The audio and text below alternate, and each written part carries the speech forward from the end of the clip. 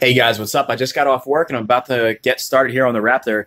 Uh, the stator just came in yesterday. Got it sitting right here. Came in late last night and I didn't have time to do any work on it. So today I'm going to throw it in. This is the OEM. Here's the aftermarket. See connectors. Look exactly the same. So it seems like it's a decent quality. The only thing is all these wires aren't coated like on this one.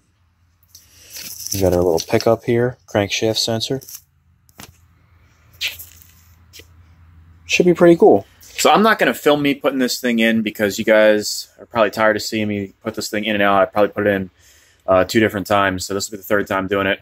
So I'm just going to put it in there and we'll cut to the chase and see if this thing starts. So I found something really cool, guys.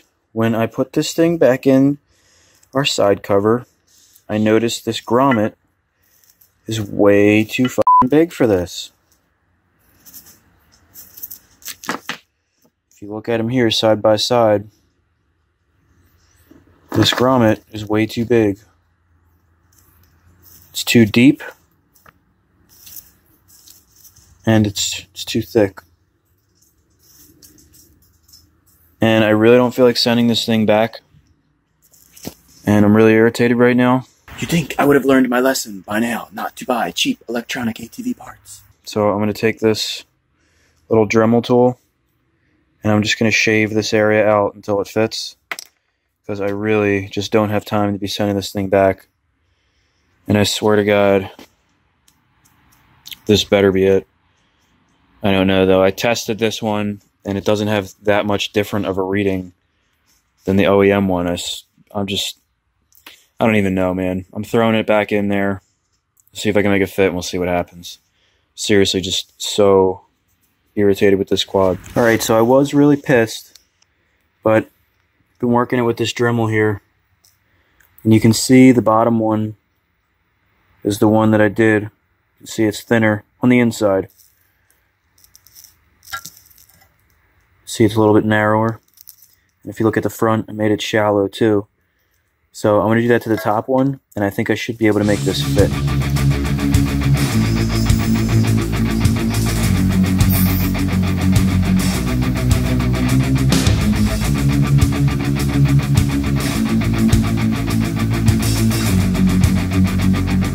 So there it is. You can see how much smaller it is on that inner portion these top lips.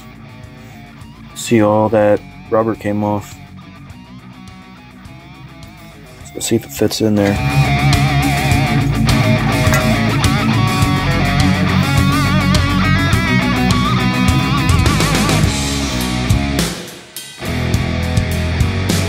Alright, so I got our grommet in here, but now this crankshaft position sensor doesn't fit. It has like these little shelves on the bottom so you can't adjust it. It has to fit in there just right. Well, you can see it'll fit in one side. It doesn't fit in the other side. Put the other one in. So that one's locked in. Now this one won't fit. It's too damn wide. I do not recommend, even if this, even if this thing works, I do not recommend buying this. I'll show the link right here. Sorry guys, but the shipping took way too long and the fit and finish of this kind of sucks. So I'm going to shave the edges off of this just slightly, the two outer edges, and, and just a little bit on the inside so the bolts fit. So it'll be just right even in the middle. And we'll bolt it in. You know, I'll be able to put this thing on here, but 90% of people that are putting this shit in aren't going to be able to, you know, modify these parts so they'll fit. And not to mention, nobody feels like doing this shit anyway because it takes forever. You don't know if it's going to fit right. You don't know if it's adjusted right. Just a pain in the ass. I love Project Raptor. So here we are again, back with the Dremel. I'm to use this bit right here. Just a little grinding wheel. And I would take this wire harness out of the engine case, but I already put some uh, gasket sealant in the grommet, so I just covered up everything there, and this should be fine. So I'm just going to take a little bit of this little retaining shelf off. Just the top outside edge. I'm to do that on both sides. And then I'm going to take a thinner uh, Dremel and I'm going to just bring this edge down just a little bit so that it'll fit in there nice and hopefully it'll be lined up properly and this thing will start. Right now I'm kind of losing patience and really willing to try anything to get this thing back together and running.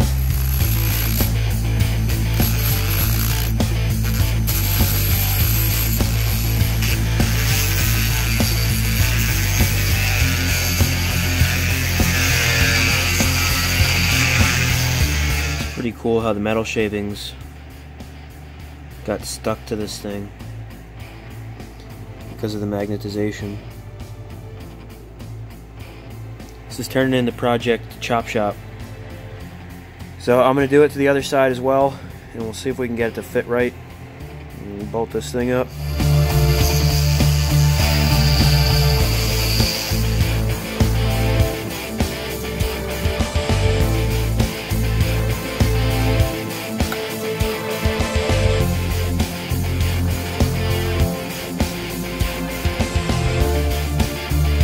Okay, so it's all on there.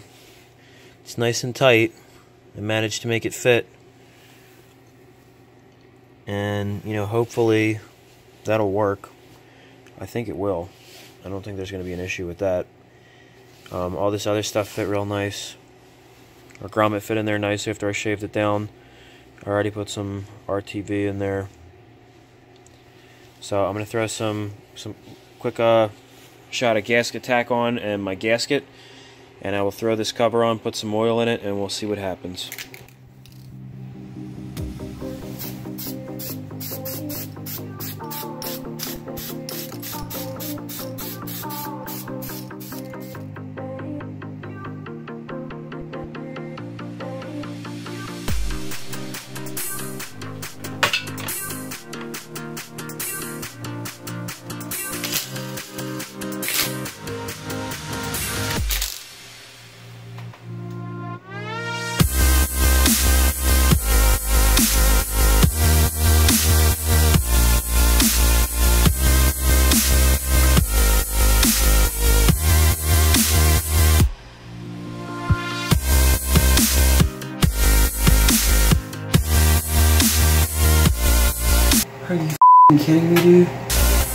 This might be the worst display of mechanical ability ever. If if not at least for me. I literally forgot to put the drain plug back in and I spilt oil all over the floor.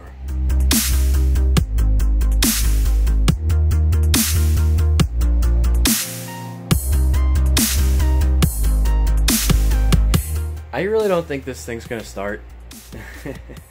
because I tested the stator before I put it back together. And it's not reading much different than the other one was, but you know, what the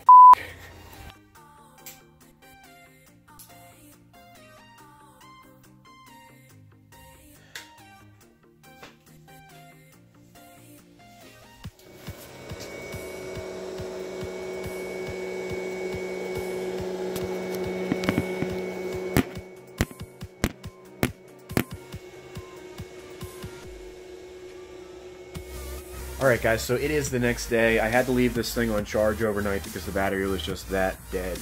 So let's give it a spin.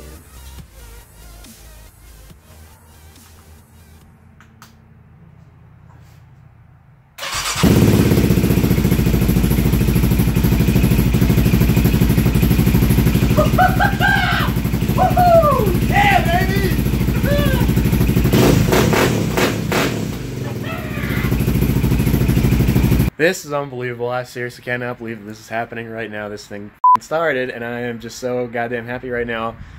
I can't even express how happy I am right now. I'm going to throw the original CDI on there and uh, plug that HMF optimizer in and see if that CDI is okay, because then I can take back the, uh, the aftermarket computer that I bought or sell the OEM one, whatever. Uh, I just want to see if that works. But I'm to take this side out, this outside right now, let it idle for a little bit, give it a couple revs, and that's to cap it because it's to be time to put the graphics on this bad boy and ride the shit out of it because the amount of work that I put into this thing and time and effort, it's like more than the Banshee. I mean, seriously. So I am stoked for this. Let's throw those computers on the uh, original computer on there and see if it fires up too.